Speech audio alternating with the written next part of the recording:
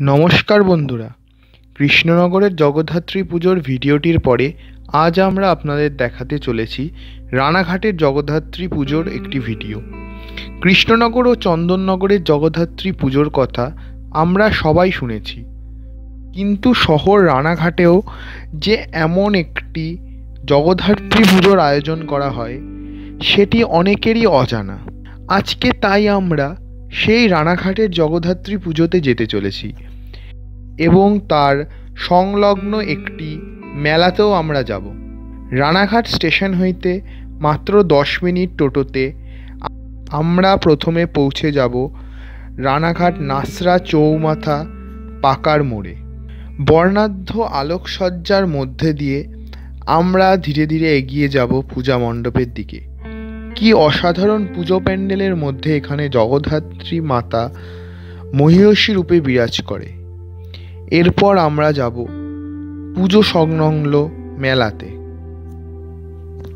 চলুন, এবার মেলার থেকে ঘুরে আসা যাক। মেলাতে ঢোকার পরই আমাদের প্রথম যার দিকে নজর যায়, সেটি হলো জিলিপি, গজা। আর মহিলাদের তো প্রথমেই নজর যায় ফুচকার দিকে, ঘুগনির দিকে। চলুন, আজকে আমরা তাহলে ফুচকাও খাব। চলুন, ফুচকা খাওয়া যাক।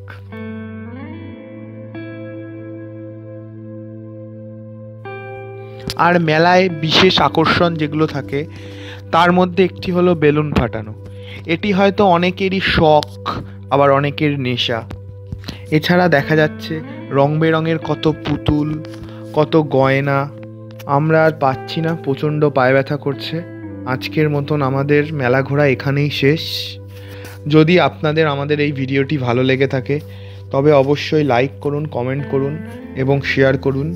আর যারা আমাদের চ্যানেলে নতুন, তারা অবশ্যই সাবস্ক্রিপশন বাটনে ক্লিক করুন এবং নোটিফিকেশানটি অন করে রাখুন আমাদের চ্যানেলের বিভিন্ন আপডেট পাওয়ার জন্য। আর কিছুদিনের মধ্যেই আমাদের চ্যানেলের আসতে চলেছে কৃষ্ণনগরের ইতিহাস। ও সেটি জানতে অবশ্যই আমাদের সাথে থাকুন।